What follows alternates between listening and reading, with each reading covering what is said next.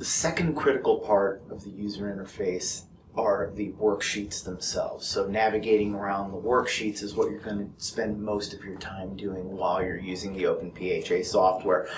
I'm going to show you that in the desktop version, but before I can do that, I need to show you how to get move things around in and out of the uh, premium cloud-based version versus the standard desktop version. So uh, right here I have my General Oil and Gas Operating Company, Kenexis's uh, company that we created for demos and training classes.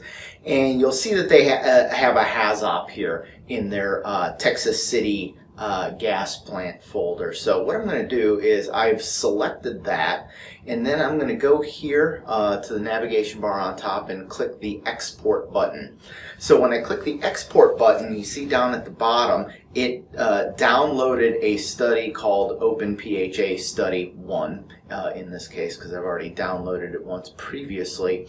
Um, and then I can go and uh, look at that folder and see what has happened. You'll see I've, I've downloaded OpenPHA files. So what I'm going to do now is I'm simply going to double click on that. And when I do, instead of opening up in the cloud-based version, it is going to open up in the desktop version here uh, on the desktop of my computer. And you can tell it's the desktop because you can have access to the file menu and uh, the other menus along the top here. All right, so we're talking about uh, worksheets and you're going to see lots of worksheets. So the nodes page, deviations, PHA worksheets, local worksheets, recommendations, all of these pages are worksheets. And what you'll notice, I'm going to go ahead and start out in the PHA worksheet, is that they, they are kind of like spreadsheets in that there are rows of data. And in this case, on the PHA worksheets, uh, there is kind of a, a, a record for each deviation. But what you're going to need to know is that there are one-to-many relationships and even many-to-one, many-to-many uh, relationships that are shown in this database. And, and I'm going to try to demonstrate to you how uh, these relationships are important and how you're going to work with them when you're using OpenPHA. Uh, so in this case, I have a consequence indexed HAZOP study, which means for each date deviation, there's going to be one consequence. And for each one consequence, there are going to be many causes. So you'll see that there's one consequence and then um, you can select the different uh, attributes of that consequence or type them in, what have you, depending on what type of attribute it is. Um, then you go over here and you see that in this row there are two rows for causes because there is a uh, one-to-many relationship between consequence and causes. And similarly there's a one-to-many relationship between causes and safeguards. Uh, so you'll see that there are four safeguards for this first cause. So that's kind of the, the, the beginning point of the showing the one-to-many relationships. And how you can work with this, you'll see down here on each worksheet there is going to be a worksheet toolbar and this helps you navigate inside the worksheet itself. So it begins with the ability to add add a new node. So I can add a new deviation by clicking on this button or if I'm in the causes row, uh, I can add a new cause uh, to that deviation or um, for, for that consequence. And if I go here and I click the button, you'll see that I added a new safeguard to that cause. So you're adding, when you click the button, it depends on where you're at in the worksheet, what's actually going to happen. So you're just going to add another item into the uh, the table, if you will, that you're currently working in. So I'm going to go ahead and uh, use this button here to delete uh, those things that I just created. So I'm going to delete that safeguard and I'm going to delete this cause. Other things that you'll notice on the toolbar are the ability to copy so the next item over is a copy. And when you do a copy, you're actually going to do what we refer to as a deep copy.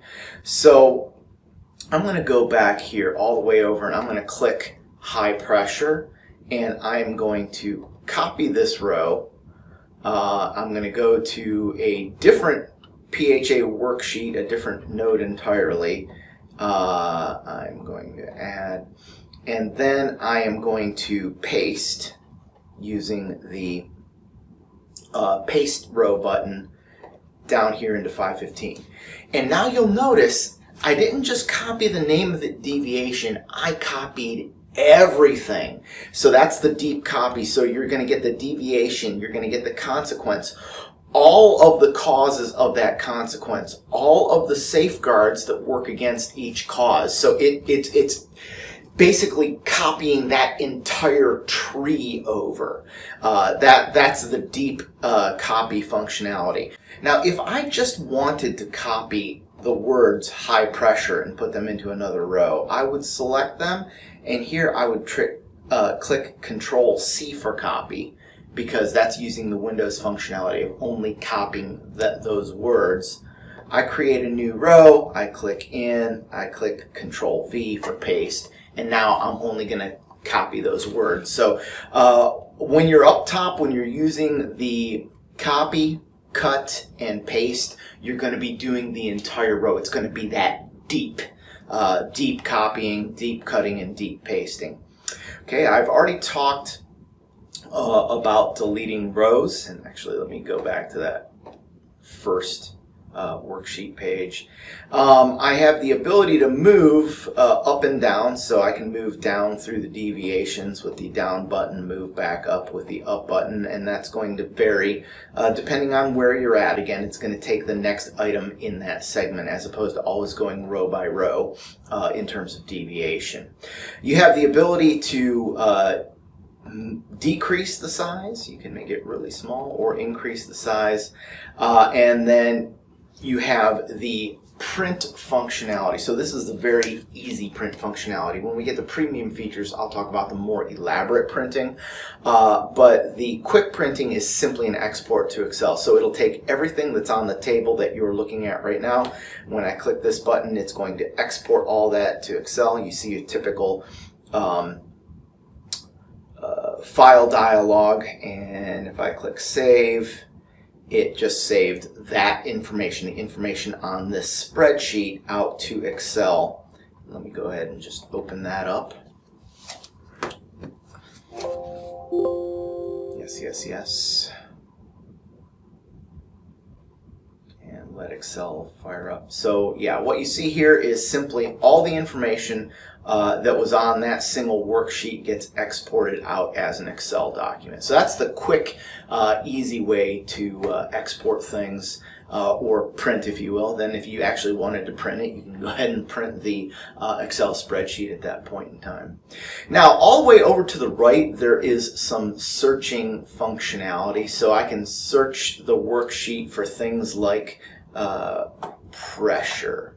So if I hit enter, it's going to find all of the instances of pressure on the worksheet, and then it's going to allow me to kind of step through where they're located, uh, finding the next one, finding the previous one, and so on. And then you also have the ability to uh, do a replace all, where you can uh, find a word and replace it with another word. So all that functionality is available at the worksheet level. And at the worksheet level, you're going to be working with the worksheet items themselves and the worksheet toolbar.